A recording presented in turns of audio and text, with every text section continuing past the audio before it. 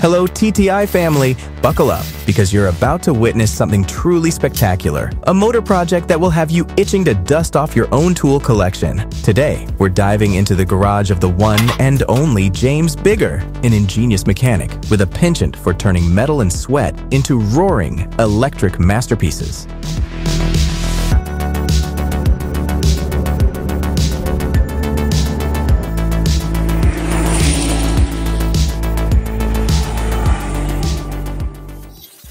James isn't just building any electric motorcycle, he's crafting a torque-happy beast from scratch. Picture this, sparks flying, metal clanging, and a man on a mission with an angle grinder in one hand and a vision in his head. The very first step in his grand plan is cutting and welding metal tubes to form the bike's main structure.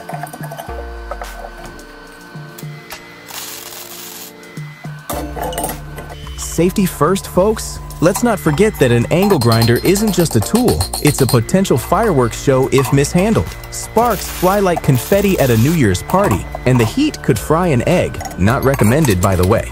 But James, he's got this under control.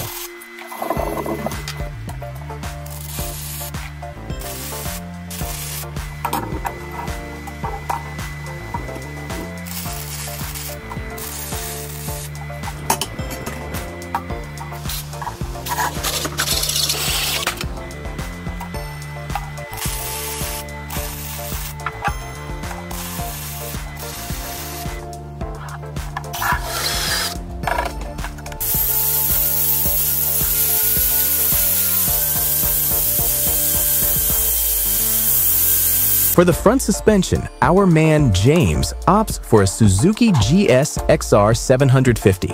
If motorcycles were superheroes, the GSX-R 750 would be Batman. Cool, reliable, and with enough gadgets to keep you safe from harm.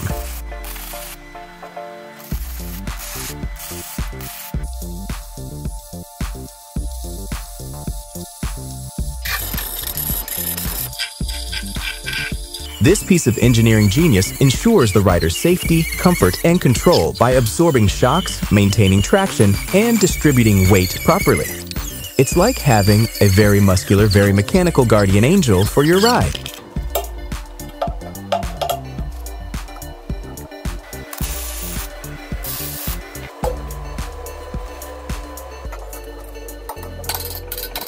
Now, if you're like me and your DIY projects usually end with duct tape and a sheepish grin, you might be wondering about the exact steps, materials, and dimensions for this project. Fear not, James has you covered. Check out his website in the description box below for a treasure trove of comprehensive plans for every single one of his projects. Think of it as a map to your own motorcycling El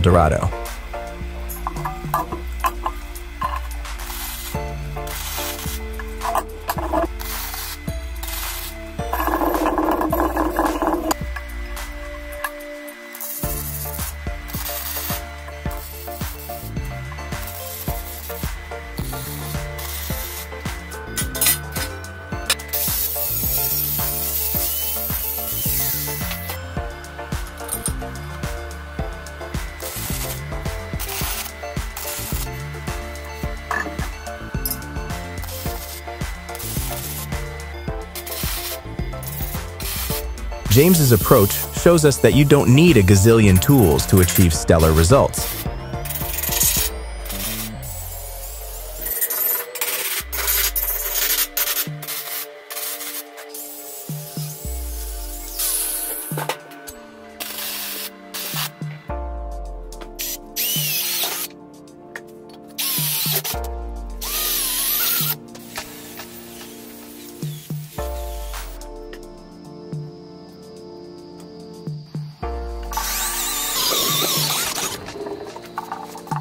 Once the rear structure is welded, he marries the front and rear parts with a swing arm pivot bar.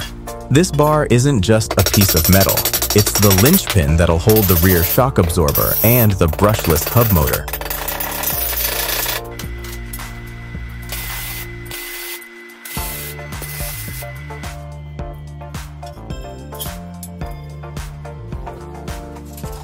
Imagine a matchmaker for motorcycle parts. It brings together components that were simply meant to be.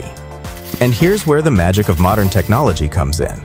James uses computer-assisted design CAD techniques to create a visual blueprint of the project. CAD is the unsung hero of the manufacturing industry, enabling designers to conjure up digital models of objects or systems. These can be simple 2D sketches or complex 3D models that would make any tech geek swoon. It's all about precision. Getting those exact dimensions and angles reduces errors and ensures the final product is as flawless as James's welding skills.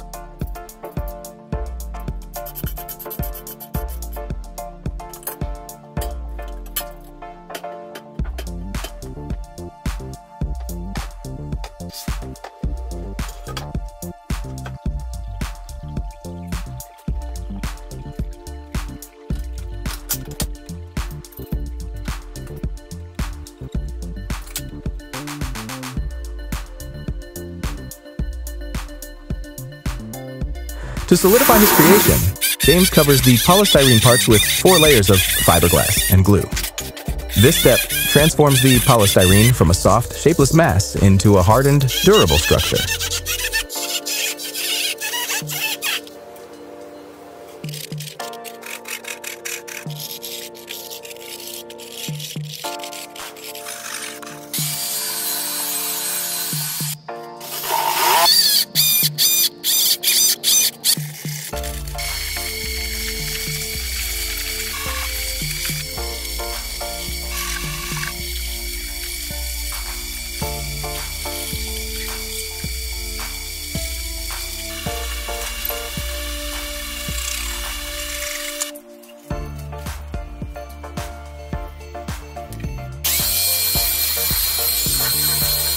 It's a bit like turning cookie dough into a rock-hard sculpture, though admittedly less delicious. He applies primer, sands it to perfection, layers on acrylic paint and glue, and finishes it with a glossy varnish.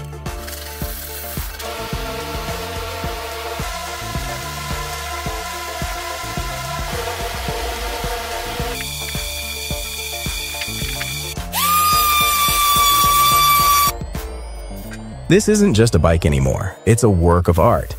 Finally, James uses this polished mold to shape a type of resin that boasts the mechanical properties to withstand high speeds and bumps.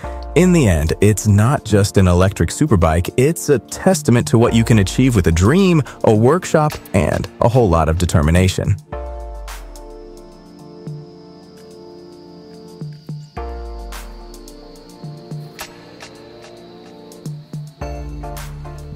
In this whole process, the fiberglass has turned out to be his material of choice, and for good reason.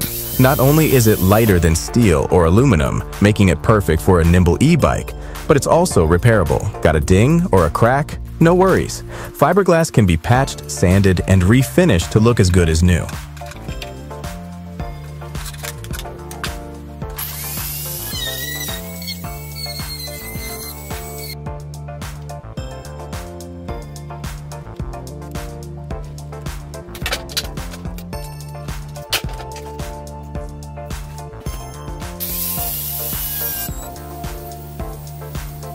After smoothing out the corners with some serious elbow grease, fiberglass glue, and more sanding, the body of the e-bike is finally complete.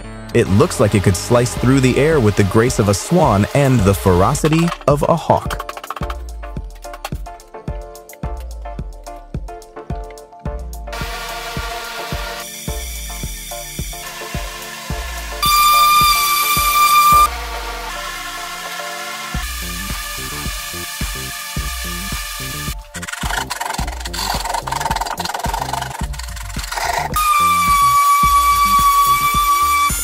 The structure solid and sleek, it's time to add the finishing touch, a generous coat of paint.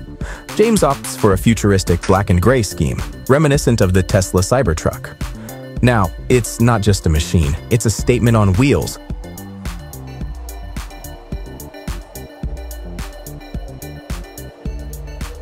Next up, we venture into the heart of this beast, the battery and wiring system. James has selected a 74-volt or 4.3 kilowatt-hour Grepow battery, a powerhouse that will propel this e-bike to a top speed of 150 kilometers per hour at 120 volt.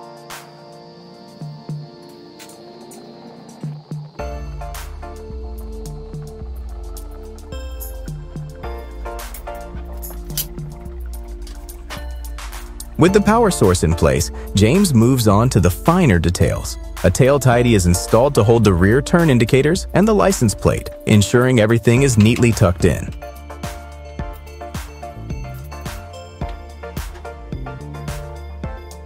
This electric marvel costs less than a conventional motorcycle and saves a fortune on fuel over time. Talk about getting more bang for your buck. As James hooks up the battery, he reflects on the broader automotive industry's shift towards electric vehicles. Environmental concerns, government regulations, technological advancements, and shifting consumer preferences are all driving this change. Sure, EVs need a robust infrastructure, and the batteries don't come cheap but they're catching up fast with their gas-guzzling counterparts in terms of speed and power. And let's be honest, who wouldn't want to save the planet while tearing up the asphalt?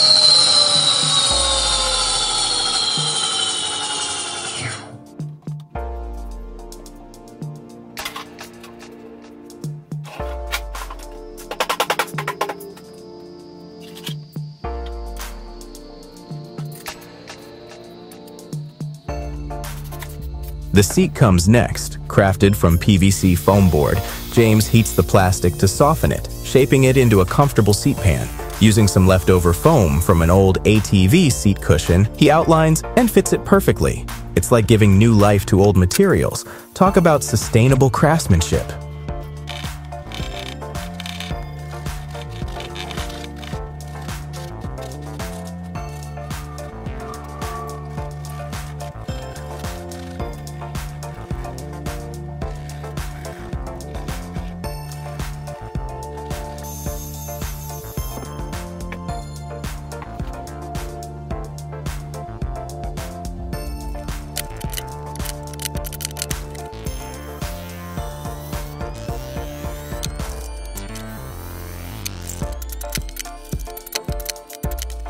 The overall look of this e-bike is nothing short of futuristic. Angular design, clean lines, sharp angles, and a minimalistic aesthetic make it look like it's straight out of a sci-fi movie.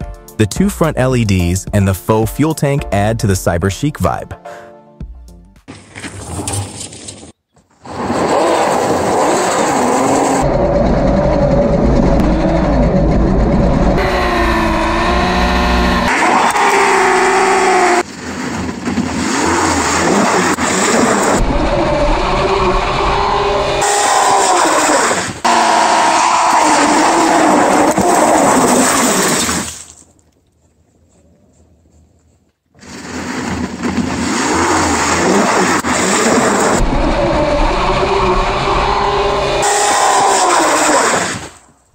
Remember, safety gear is a must. A good Kevlar helmet, a thick jacket, sturdy boots, and strong motorbike gloves with knuckle protection.